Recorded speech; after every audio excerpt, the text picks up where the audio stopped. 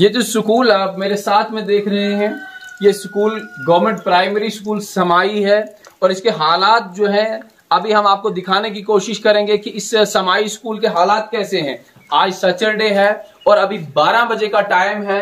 School के हालात कुछ इस तरह से हैं कि पहला ताला, ये ऑफ़िस का शायद ताला है, ये भी बंद है और आगे जाने की कोशिश भी हम करेंगे और दिखा देंगे आपको कि क्या हालात हैं गवर्नमेंट स्कूलों में, बलेसा के अंदर।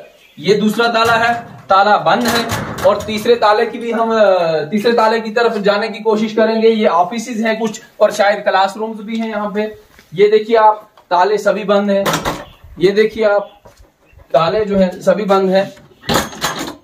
तो आप देख सकते हैं कि किस तरीके से गवर्नमेंट स्कूलों के हालात जो हैं, वो खस्ता हो चुके हैं। एक तरफ़ से कॉन्स्टिट्यूशन जो है कि फ्री एंड कंपलसरी एजुकेशन दिया जाएगा, मगर वहीं अगर हम इस फ्री एंड कंपलसरी एजुकेशन की बात करें तो क्या ये उन लोगों के लिए है जो गरीब बच्चे हैं, और क्या ये उन लोगों के लिए है जो यहाँ आते तो हैं, मगर यहाँ टीचर नहीं होता है?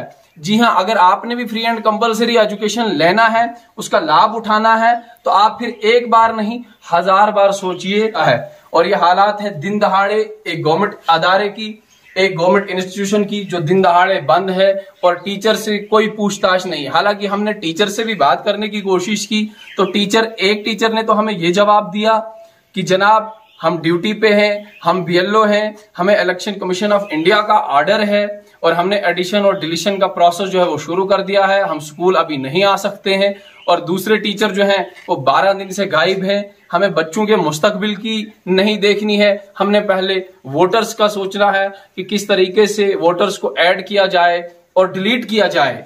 हालाँकि बात की जाए तो गरीबों के बच्चे, जिन गरीबों के बच्चे यहाँ पढ़ते हैं क्या उनके पेरेंट्स भी अभी इतना भी नहीं समझ रहे हैं कि हमारे बच्चों का मुस्तकबिल, हमारे बच्चों का कैरियर कहाँ की तरफ़ जा रहा है? क्या वो ऐसे सपने देख सकते हैं कि हमारे बच्चे नीट जैसा एग्ज़ाम क्वालिफाई करेंगे?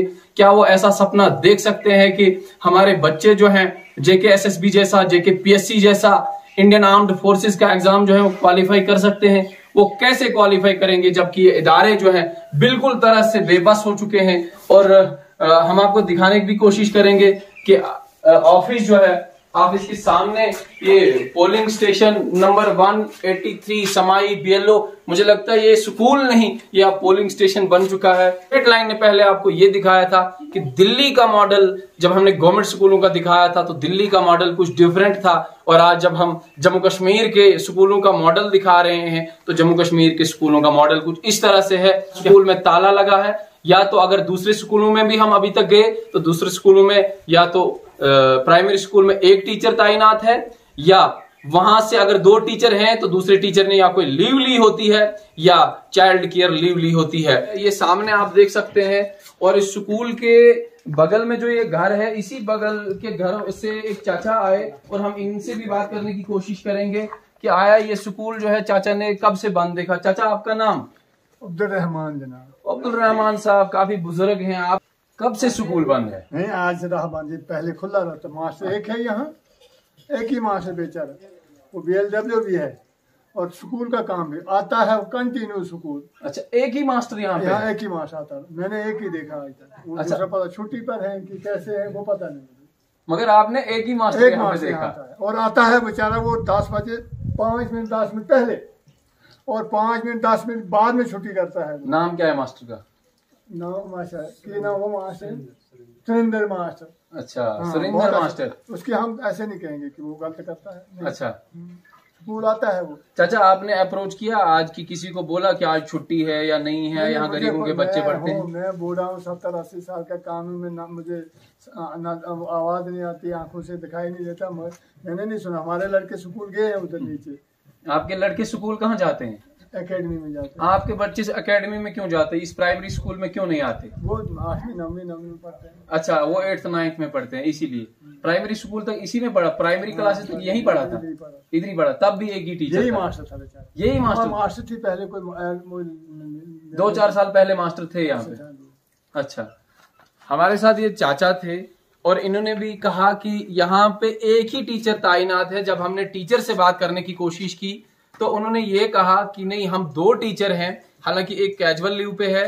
पता नहीं किस चीज़ की लीव उन्होंने डाली है, वो हमें तो पता नहीं है। बट दूसरा जो कहता, हमारी जो ड्यूटी है, हम जिस कारण की वजह से डोडा चले गए हैं, हमारी ड्यूटी है वहाँ पे तो वो हम बी बीएलओ अपॉइंट किए गए हैं। हमारा इलेक्शन का काम है हम एडिशन हाँ, और का काम कर रहे हाँ, हैं। तो। ये आप पे डिपेंड करता है कि आप अपने बच्चों का मुस्तकबिल एक बार नहीं आप हज़ार बार सोचिए कि एक टीचर क्या यहाँ इस स्कूल के अंदर बेटा, 18 सब्जेक्ट्स पढ़ा सकता है।